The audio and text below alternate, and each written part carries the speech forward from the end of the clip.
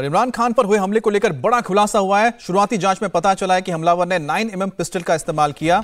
हमलावर के पास से दो मैगजीन भी बरामद की गई है। जाँच टीम को घटनास्थल से 11 खाली कारतूस मिले हैं।